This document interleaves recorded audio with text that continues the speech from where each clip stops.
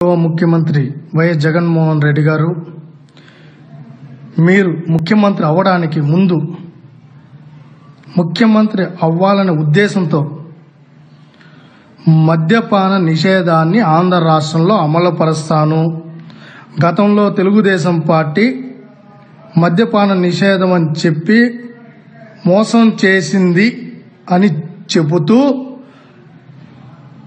అమ్మ చెల్లెమ్మ అవ్వ తాత అని అనేక సందర్భాల్లో వాళ్ళని ఉద్దేశించి మాట్లాడుతూ ఆంధ్ర రాష్ట్రంలో మద్యపాన నిషేధాన్ని పూర్తిగా అమలు పరుస్తానని హామీ ఇవ్వడం జరిగింది. అయితే ఎలక్షన్ అయిన తర్వాత మద్యపాన నిషేధాన్ని ఒకేసారి అమలుపరిస్తే అనేక ఇబ్బందులు వస్తాయి.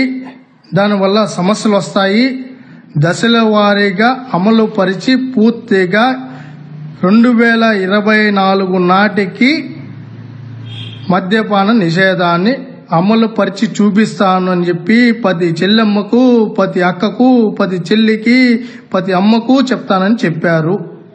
అయితే కరోనా వల్ల నలభై రోజులుగా మద్యం నిషేధం పూర్తి స్థాయిలో దేశవ్యాప్తంగా అమలు ఉంది. దీనికంటే మంచి తరుణం లేదు. మీకు దమ్ము ధైర్యం ఉంటే నిజంగా మాట తప్పును మడమ తిప్పునని మీరు చెప్తే చెప్పు గతంలో చెప్పారు ఇప్పుడు చెప్తున్నారు. మా నిజాయితీ ఏంటో ప్రజలకు తెలియజేస్తామన్నారు. మీ నిజాయితీ దీనికంటే మంచి అవకాశం రాదు నిరూపించుకోవడానికి.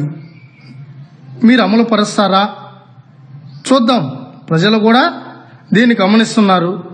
మీరేంటో మీ తీరేంటో మీ ప్రవర్తన ఏంటో మీ మాట తప్పని విధానం ఏంటో మడమ తిప్పని విధానం ఏంటో ఈ మద్యపాన నిషేధాన్ని అలుసుగా చేసుకొని మీ అనుంగ మనుషులకి ఏ విధంగా జోబులో డబ్బేస్తున్నారో పైకేమో మద్యపాన నిషేధం పేరుతో గవర్నమెంట్ పాలసీలు అని చెప్పారు. ఏ విధంగా జరుగుతా ఉందో ఎవరెవరి దగ్గర జోబుల్లో నింటున్నాయో ఎవరికి డిస్లరీకి పర్మిషన్ ఇచ్చారో. సబ్స్క్రైబ్ బటన్ని ఒక్కసారి క్లిక్ చేసి గంట సింబల్ క్లిక్ చేయండి. చంద్రబాబు గురించి టీడీపీ గురించి అందరికంటే ముందుగా మీకే అప్డేట్ రావాలంటే గంట సింబల్ తప్పనిసరిగా క్లిక్ చేయాలి.